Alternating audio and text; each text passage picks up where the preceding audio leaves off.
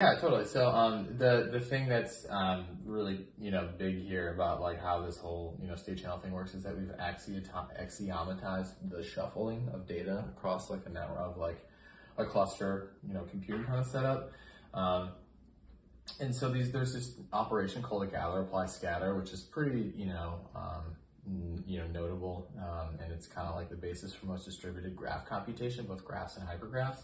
It's basically how do we take data, mix it together, and then scatter it back out to new nodes because what we're always doing in these, you know, these pipelines, um, these big data pipelines is that we take data on a set of nodes and then we operate something on the data and then send the result back and forth or the sum total of data back and forth. We're constantly shuffling and moving and sharing the computation space.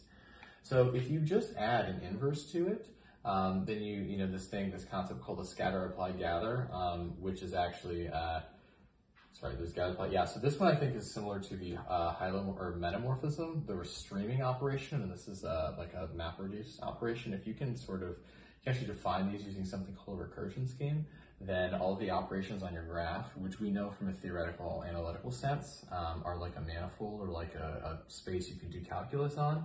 Um, we can one-to-one -one map that calculus space to the code space by using these recursion schemes.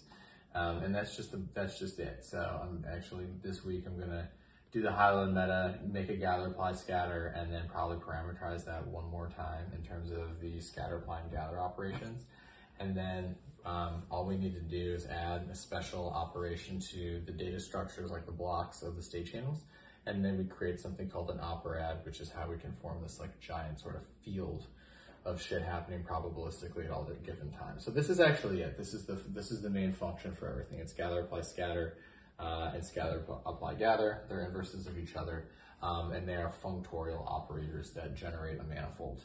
Uh, at the same time, they are the same type of structure we use to handle concurrent operations in computing and distributed computing. They just happen to be the same thing because time doesn't really exist, and this is how you handle, you know, things in complex spaces where things happen at the same time. End of story.